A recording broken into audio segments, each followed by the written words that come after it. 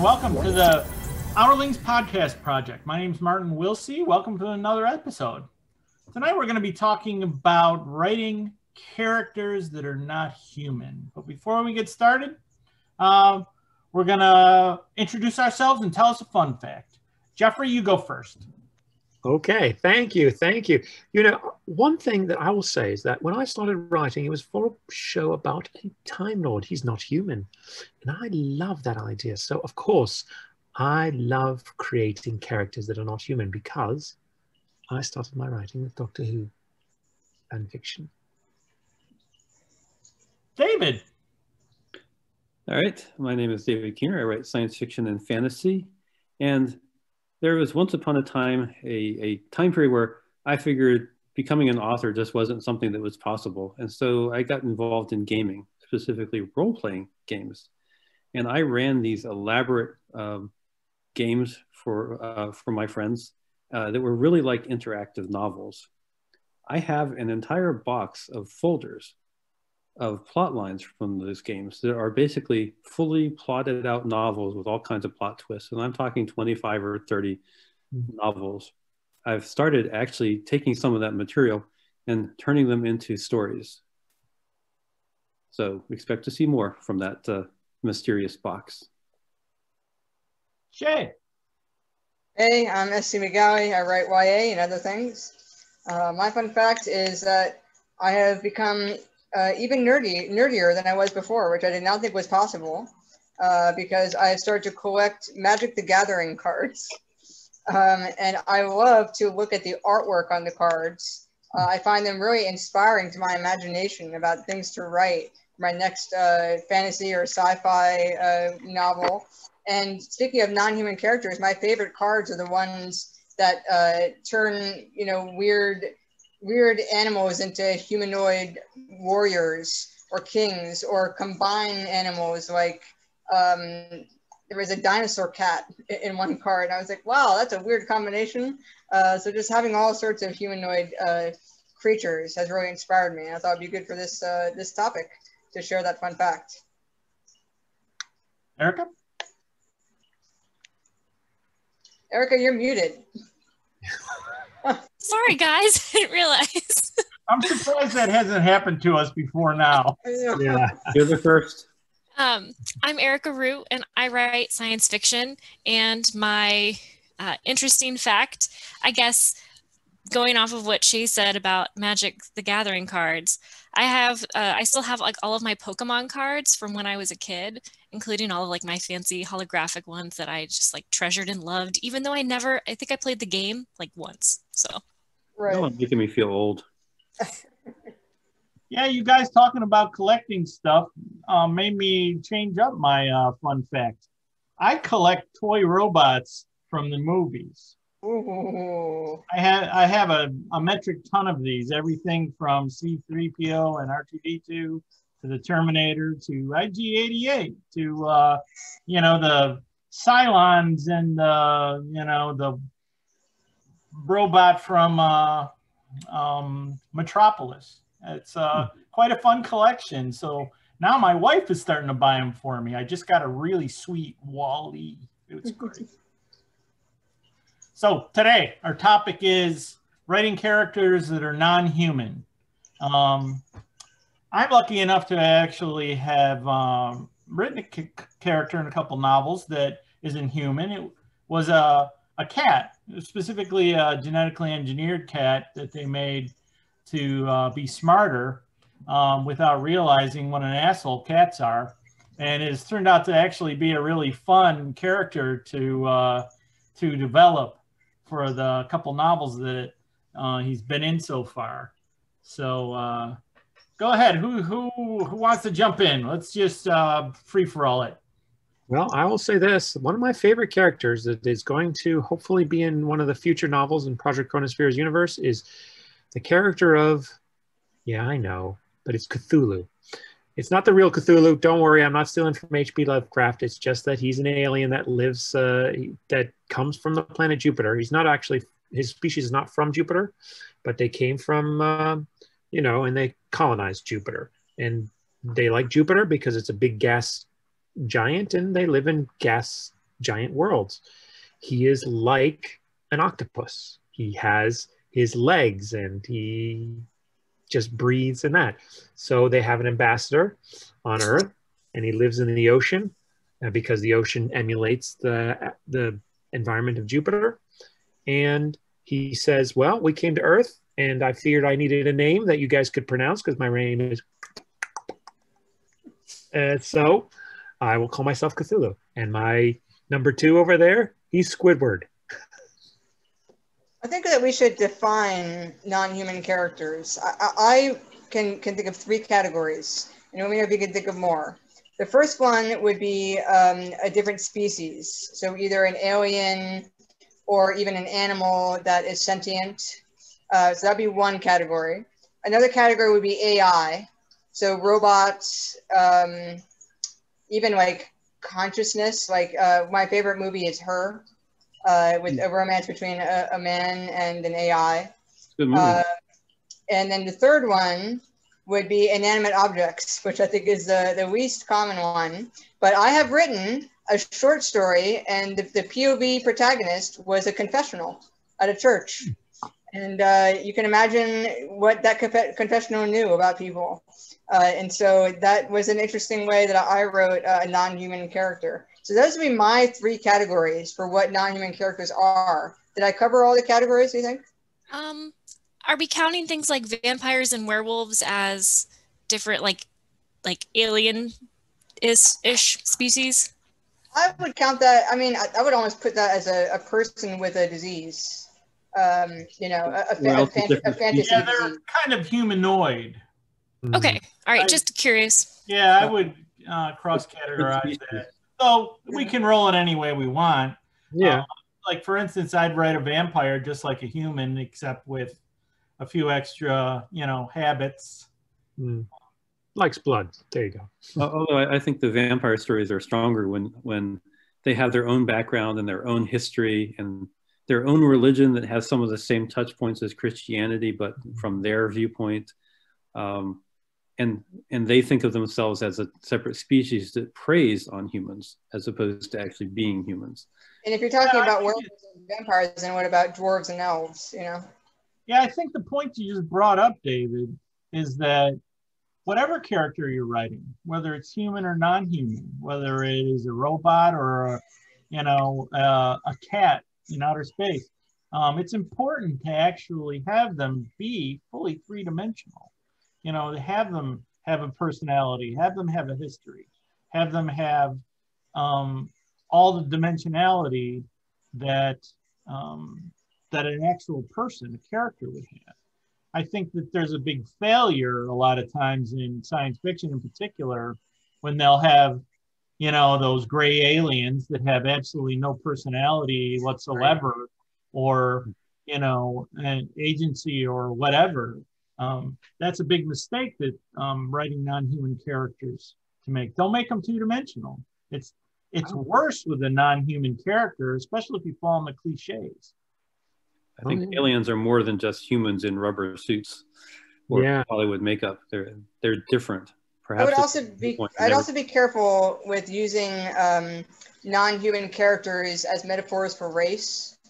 Uh, mm. I see mm. that happening sometimes in sci- sci-fi and fantasy and I think one example is Star Wars. Uh, you always see how the Empire people are all the same. You know, they're all white humans, and then you have the the Alliance side being a diversity of different alien species. Um, I was never a fan of that metaphor that, that Star Wars was trying to make. Uh, it was definitely a racially uh, undertone metaphor. But I, I would agree with Marty to not try to pigeonhole or use your non-human characters as a, you know a, a theme setter for your book and make them three-dimensional. Oh yeah. Well i think the biggest issue is we are humans. We have emotions and our range of emotions are complicated. But what emotions do aliens have? Do they have the same emotions? Do they have different emotions? Do they have an emotion that would be like imagining what the fifth dimension polytopes look like you know, we're humans. We live in the three dimensional universe. But a five dimensional being would say, "Oh yeah, I know exactly what a cross polytope looks like in five dimensions. You guys are weird. You can't imagine that." And so, what you know, coming up with those ideas, what do they see differently that we as humans would see? It's one of the biggest and also hardest things to do. But when you get it right, you get it right. And I'll just add that Doctor Who, that's a perfect example of sometimes he's very human, but sometimes he just does things that are a little bit weird. And it's because he's not human. He's Gallifreyan or she's Gallifreyan um, from, you know, maybe she's not even Gallifreyan if you know a little bit about Doctor Who, but just saying. Well, I think a lot of uh, the nature of any alien or or even a, even a separate species that's been raised to intelligence, whether it's an intelligent dog or an intelligent cat, um, they're going to come to to that with a with a different viewpoint. Um, for example, uh, I remember growing up, I, I, looked out my back window one time, and there was uh, one of my cats was being chased and, and harassed by a blue jay. What the blue jay didn't realize was that this was a big 20 pound cat uh, and like something in slow motion out of one of those Wild Animal Kingdom uh, movies. Um, that cat jumped almost eight feet up into the air. It looked like something in slow motion, and took that uh, that blue jay out of the out of the air, and happily played with him as a toy for the next half hour, mm-hmm. which is something we would not do, but it was perfectly normal and natural for for a cat. And you would never get a cat to understand why that would be cruel and unusual behavior because they won. It's their mm-hmm. toy. Mm-hmm. right? And if you can capture that in the story you can make that cat seem both intelligent and and real as a cat i would also say that there is a big difference between non-human characters that are simply um, masks for telling a totally human story and uh, non-human characters interacting with human characters in a story. And to color that statement, I'll, I'll, I'll point to The Lion King, which is, you know, all uh, animal, non-human characters, uh, you know, lions mostly, uh, is basically just Macbeth uh, with lion characters acting and talking and interacting totally human, but with, you know, a couple of uh, you know, a couple playful jumping after prey in the savannah or whatever. Uh, you know, a couple couple playful details. But mostly, it's really just a human story, and let's just put animal faces on it. Um, so that mm. that's a big difference from mm. trying to create an ecosystem in your story that includes both human and non-human characters. And you just gave me the perfect setup because the one I wanted to talk about was C.J. Cherryh's story, Pride of Chanur, uh, which is a, a, first contact situation from the standpoint, from the viewpoint of the aliens. Mm-hmm. Aliens in this case are actually very similar to lions, uh, lions in the wild, um, with a culture of, um, uh, with a patriarchal culture based on uh, combat between patriarchs and things of that nature. And so the crew that first encounters a a single human that has been captured and is being paraded around the, the, the alien space by their enemies. Um, in addition to dealing with the human and the, their, the conflicts that come, come from possessing a human that everybody else wants, they also have to deal with the fact that their culture um, is organized along the, the, the, lines of lion packs again. And just by virtue of having this, this human in their possession, um, they may actually um, lose uh, basically their clan holdings and, and, everything. And it's it's very masterfully well done. It was a Hugo nominated uh, novel when it when it came out, and it's really taking the idea of a lion as, as an alien species mm. and and saying, well, how would that really work? What happened? What would happen if lions actually developed civilization and intelligence and, and everything what would their society look like and how would it be different from people? Much like Planet of the Apes, right? Planet of the Apes, I kind of disagree with because I, I feel like that's just humans in fursuits. Yeah. Well, I guess it depends on which which version. well, it does. It also depends a bit on uh, you know if you're going to do something that's called furry uh, novel. You know, furries are humans uh, brains in animals. They act just like humans. They do things just like humans. But Set they, it back to the Lion King example. So yeah, the same. Exactly. But they may add, which is within the furry uh, community, okay, to say, well, this is a rat, so it does have very intelligent, very good intelligence and good seeing and good uh, hearing and all that, uh, accentuating their differences. Of course, the uh, famous is Zootopia. If you've seen the new movie, Ah, great movie. Yeah. that's that's the typical furry concept. Mm, They're humans. They're just living with certain augmentations that are yeah. living their lives. Totally. Actually, another one I like is the movie Up from Pixar. Hmm. Um, they have a, a dog in it that has a magical collar, basically, that lets him speak.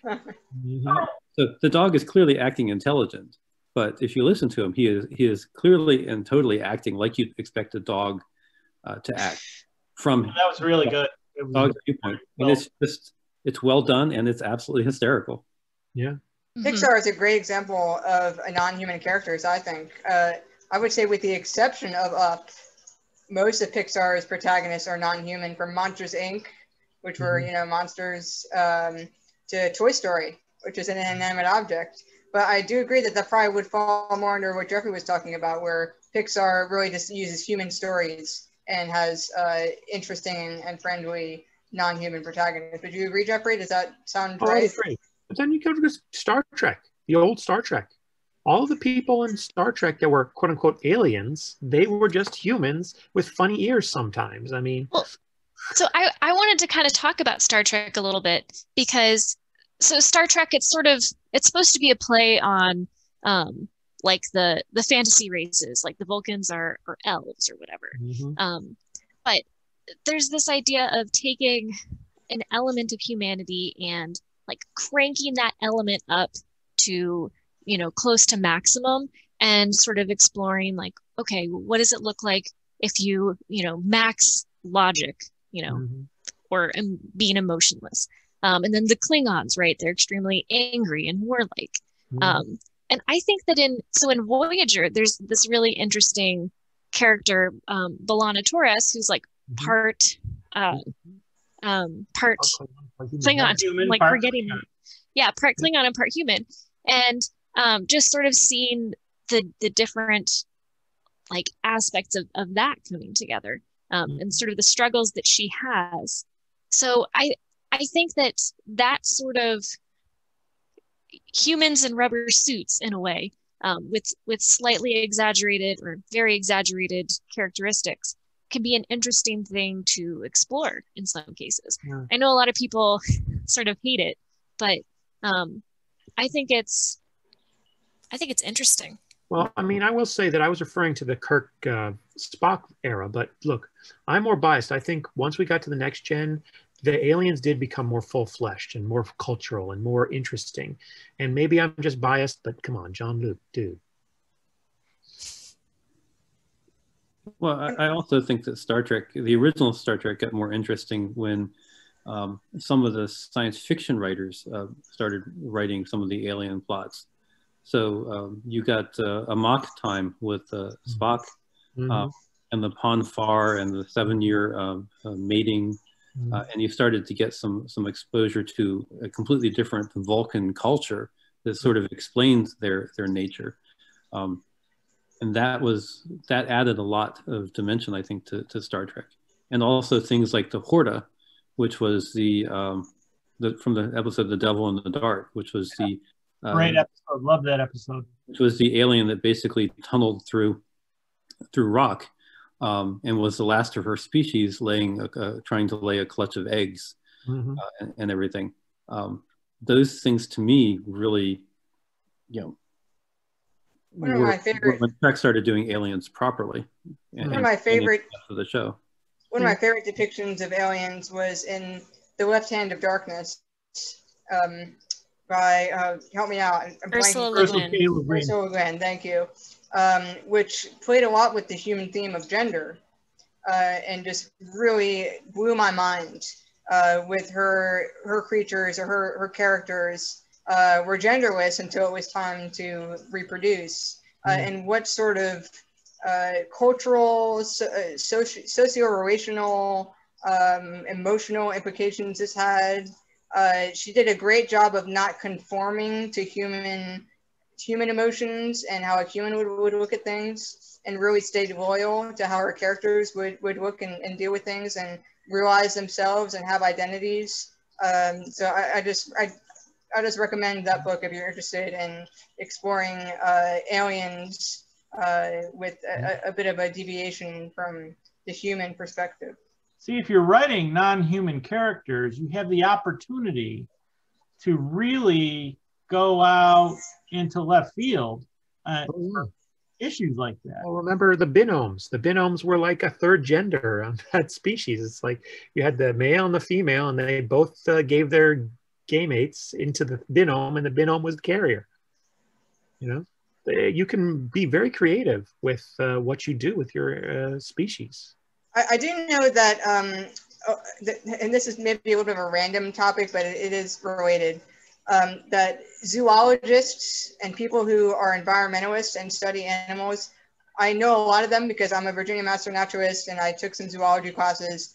They are they actually are uh, annoyed when storytellers personify animals, or you know when, when people are dealing with animals and handling animals and give them a name and give them you know human emotions and human inter interactions. They actually find it disrespectful uh, to the animal. And uh, I don't know if I agree with that, but it always kind of stuck with me, you know, when my professors would encourage me against, you know, giving a cute name to this the species that we're studying um, and, and, trying to impose human uh, expectations on it. Mm. Hmm. Interesting. Yeah. I think what bothers me sometimes is um, you, you get the, the big uh, the, the, the big common animals uh, used as the basis for aliens so you get cat aliens and dog aliens and spider aliens and stuff like that. Right. But if you just looked around at Earth, there are so many different types of creatures with so many different biological patterns.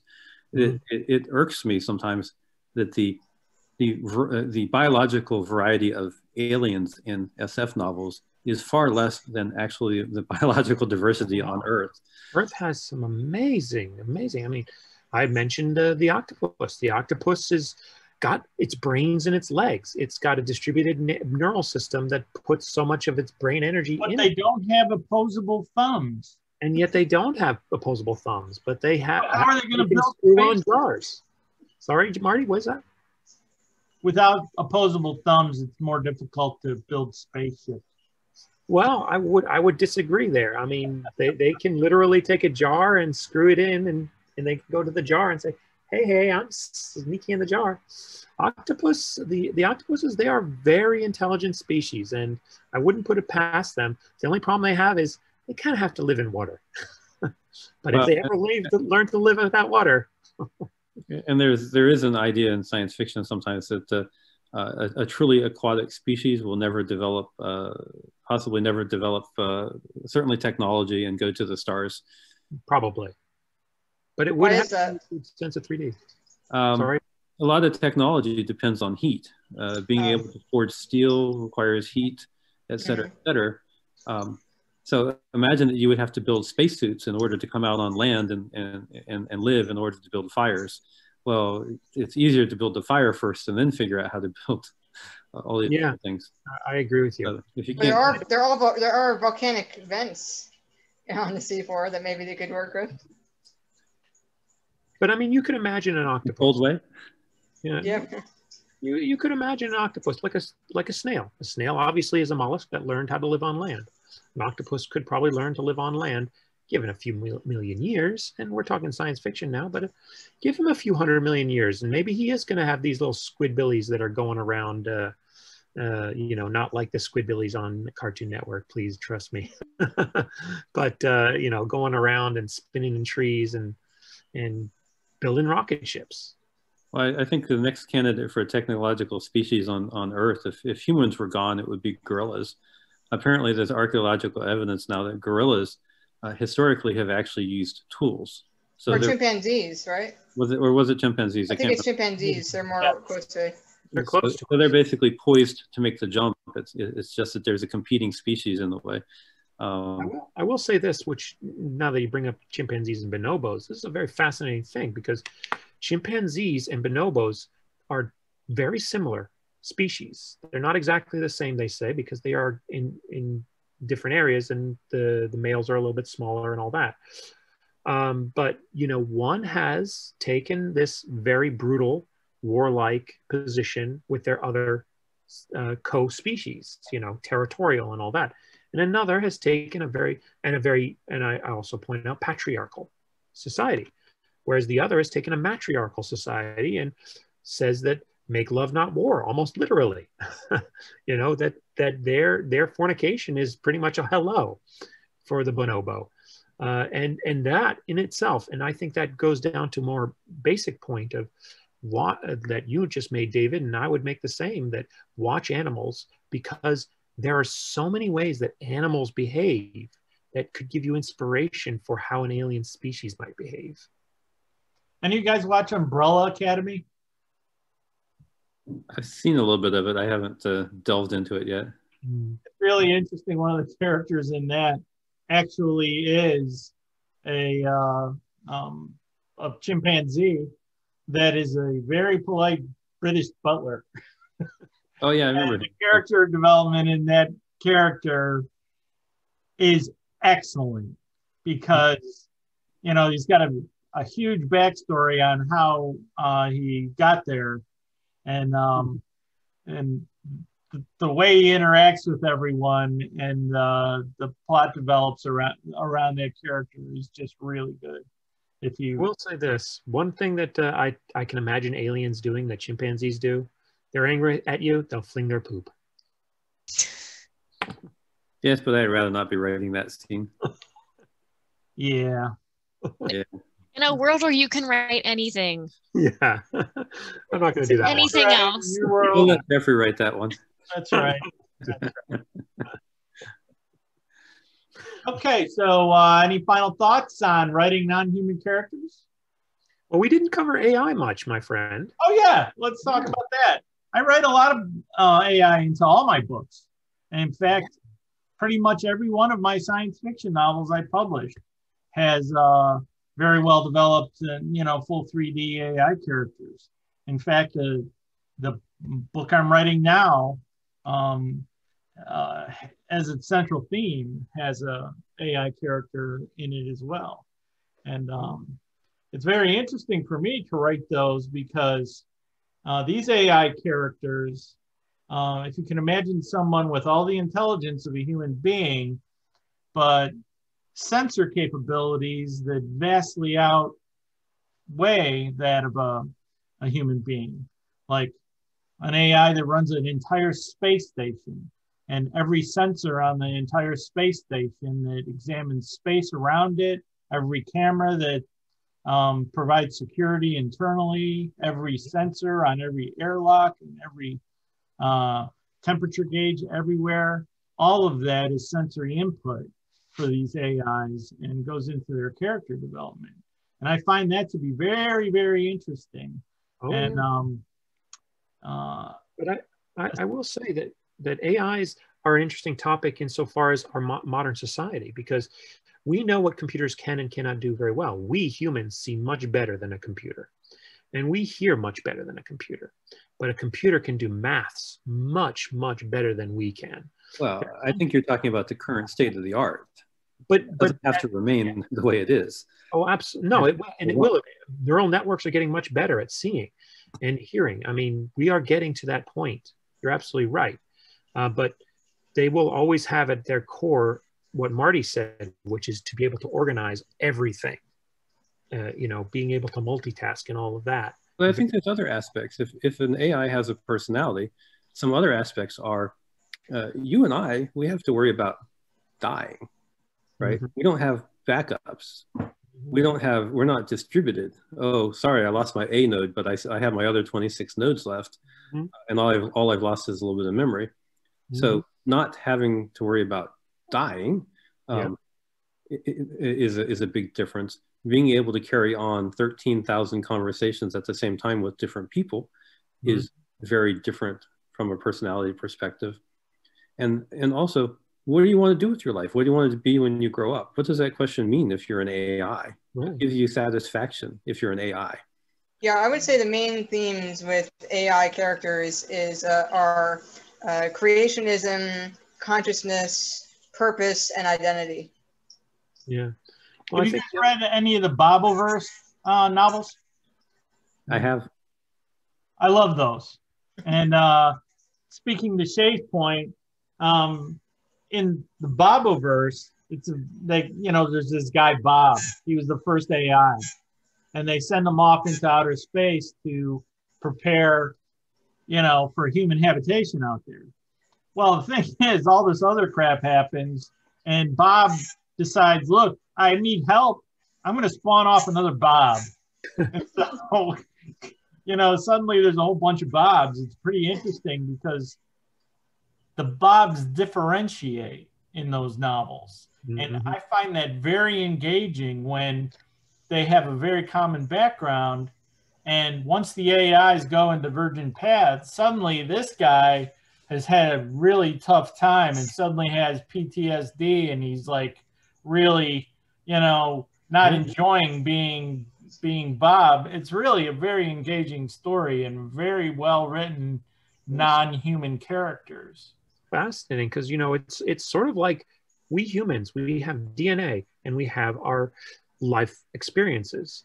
We have nature and nurture. The computers the bobs they have their equivalent their dna their knowledge everything like that but everything that happens to them influences them and and becoming a different bob they also don't have they don't have parents or if they have they may have influencers but they're not quite parents there's not a built-in bond right they don't necessarily have the same instincts and drives, right? They, they may not have any uh, uh, procreation urge or desire to have children, or what would that even mean for them, et cetera, et cetera. So they're, they're emphatically not human without some of the constraints that humans have. That's right. Without the imperatives that people have.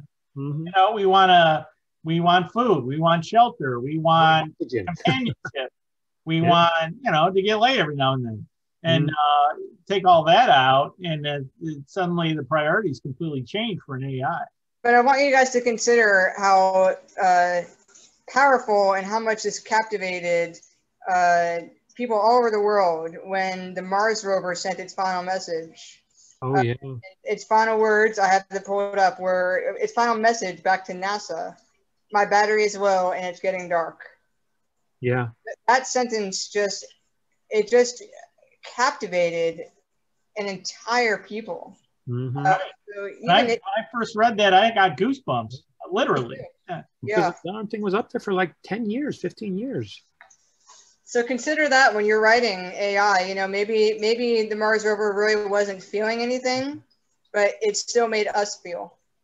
One other thing though, I think we should bring up with AI is that it does evolve and it does get better and better with every year, as David just said. There is a time when we will have AI that's nearly our intelligence, and there will be a time when the AI is pretty much our intelligence, and then there will be a time when the AI is well beyond our intelligence. And many of the science fiction tropes, as we talked about in the previous episode, although maybe not this particular topic, is when they get to way above our human knowledge, are they going to consider us expendable? Well, now oh, you're talking about the, the singularity, which I, I, think is another whole topic. Yeah, that's a whole that's a whole different thing, and so many stories have been written exactly. to that capacity.